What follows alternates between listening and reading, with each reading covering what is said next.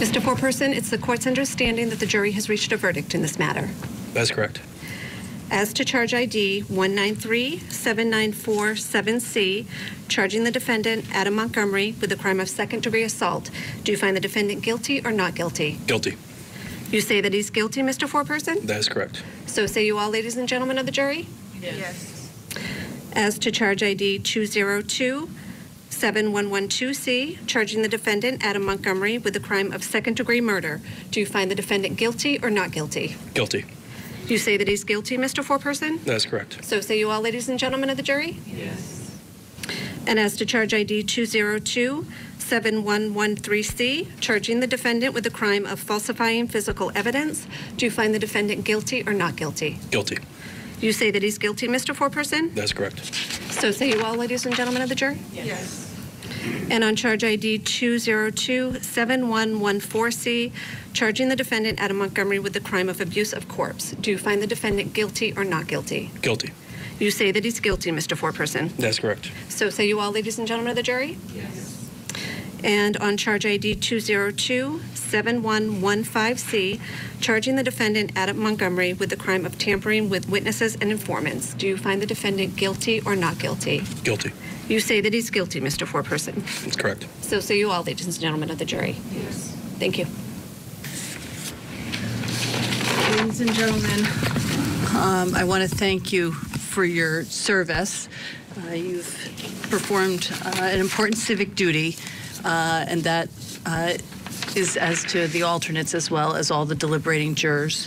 What we're going to do now is I'm going to send you back into the deliberation room. Uh, The alternates are going to uh, be able to go back now with you. You can discuss the case with each other, uh, so it's an opportunity for you to do that. I'm going to take a few minutes with the lawyers here, and then I will come in uh, to discuss a couple of other matters with you further, and then you'll be released from your service. All right? Thank you so much, ladies and gentlemen. Uh, all rise for the jurors, please. All right, there you go. Guilty on all counts. Adam Montgomery not there to witness it, um, but Crystal Sorey was there, Harmony's mother. Packed courtroom. You see Matt Johnson was there. Um, this is this is the way the system works, and boy, it, it did work. Uh, and, and Julie, we were talking. Both sets of attorneys were fantastic in this case. Um, the prosecution, their closing was uh, just off the charts. How impactful it was, but also the defense. I mean, the, the defense was given a very difficult set of cards, and um, And that- their job ladies is what gentlemen, hangs you may- you may be everything in the balance. Let's listen to the judge. Counsel, we just need to schedule sentencing. I don't know uh, how much time the parties feel that they need. We'll say we are scheduled here on Thursday, the 7th of March for this. Will both sides be prepared? Uh, Actually, I don't know, I don't know what, what the court's, the court may not have time, sufficient time that day, so let me just look.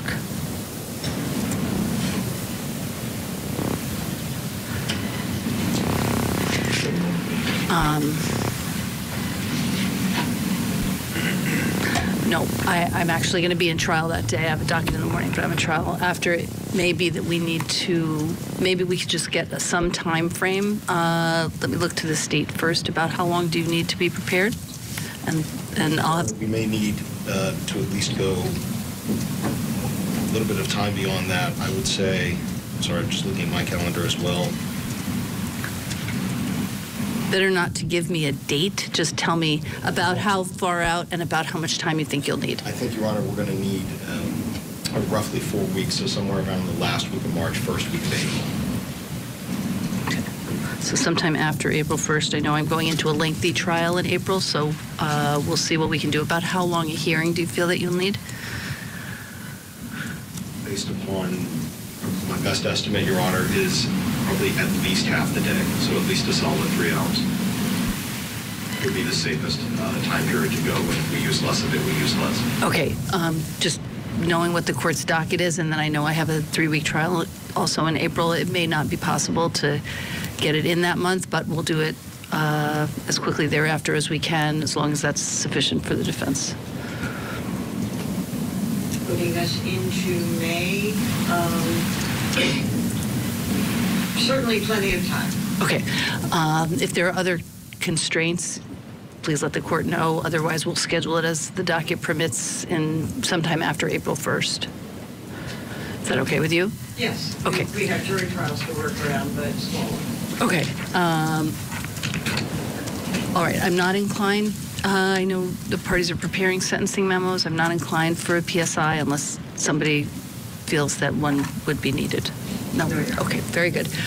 Um, Sentencing memos, uh, any sentencing memos should be in, um, I would say, given the time frame, if you can sentencing memos in 10 days in advance, that would be helpful to the court. Um, That will give time for the court to consider any information, ample time to consider any information the court needs to consider. Anything else we need to accomplish today? Think, Your Honor, just from the state's perspective, uh, when we do have the sentencing date, we're getting closer. The state will ask under RSA 651 colon 4-A that the defendant, whether he likes it or not, will have to be transported here for the sentencing pursuant to that statutory authority. Okay. um, If you're going to file something, did you say? File that, Your Honor. Okay. There's, uh, there's very clear statute on it, there's case law on it. We will provide that to the court ahead of time and do that in plenty of time so that the defense can respond to that um, before we get anywhere near that 10-day mark ahead of the hearing. Okay. Um, Anything else the defense wants to raise? Not at this time, thank you. All right. Thank you, everybody. Thank you, Thank you. All right. Okay, there it is. Um, boy, courtroom is packed. Michael J. for wa- watching along with us. Uh, no surprise, I guess. It would have been a shocker had they found him not guilty, but still, um, it took him a little longer than we thought. As we Oh see yeah, the defense I. Um, sorry, Ted. Uh, sorry, I had a leg. Um, yeah, no, it's the end of an era, my friend. It's the end of an era. We've been covering this case for a long time, um, and the crescendo at the end was, uh, you know, surprising to me. The fact that the jury took that time, took that much time. I mean, I respect that. I, I, I wish all jurors, all jury pools, uh, you know, take time and weigh everything and go through everything. There have been many times in my experience, and just in covering cases on Court TV, where juries come back alarmingly quick and you kind of feel offended, right? You kind of feel slighted. You say, hey, you know, so many people put so much into this case. There's so much, so much there for you to look at, but you came back in three hours, right? But in this situation, we were shocked that they did not come back in three hours. So I, uh, you know, it, it, it kind of a fitting end and a culmination uh, uh, to this whole entire process. And uh, Adam Montgomery, you know, God bless you, buddy. Um, you, you, you, you know, you caused all this. You, you've now been found guilty, um, and um, you know, do your thing, I guess. This is a moment for this community, Michael. I mean, we're seeing there the hugs, the camaraderie between law enforcement, uh, the victim's family, the prosecution there walking out. A job well done to them in this. I mean, this is a case where the governor of New Hampshire called Adam Montgomery before this conviction a monstrous drug dealer who should have never had custody of Harmony. So there's been a lot of investigation following this case uh, that goes far beyond just this trial, this murder case. Um,